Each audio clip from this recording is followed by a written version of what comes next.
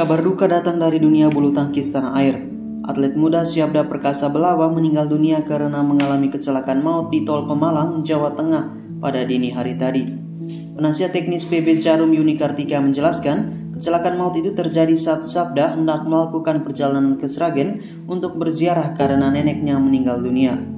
Namun kendaraan yang ditumpangi Syabda bersama keluarganya terlibat dalam kecelakaan maut di Tol Pemalang. Syabda sendiri merupakan salah satu atlet tunggal putra yang digadang-gadang akan menjadi bintang di masa depan. Pria kelahiran 2001 itu pernah mewakili Indonesia di Piala Thomas di Thailand pada tahun lalu.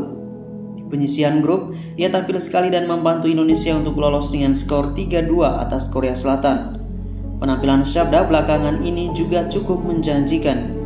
Dia memenangi Litunian Internasional dan Malaysia Internasional pada tahun 2022 dan teranyar menjadi juara di Iran Fajar Internasional pada Februari lalu. Kepergian Syabda tentu meninggalkan duka yang mendalam tak hanya bagi keluarga, tetapi juga untuk dunia bulu tangkis dan seluruh masyarakat Indonesia.